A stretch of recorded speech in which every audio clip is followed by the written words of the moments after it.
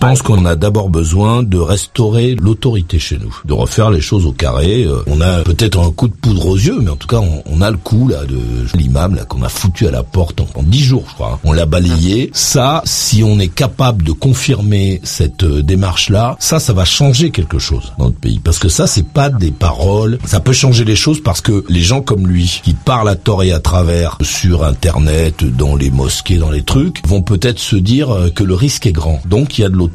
Ça, ça va changer notre pays. Si on remet un peu d'autorité, si les policiers peuvent aller partout, c'est la prochaine étape. Hein. Euh, là, ça aussi, ça va changer. Quand on sera capable de punir les gens qui nous emmerdent en fait, qui empêchent le pays de, de tourner, ça sera un second pas.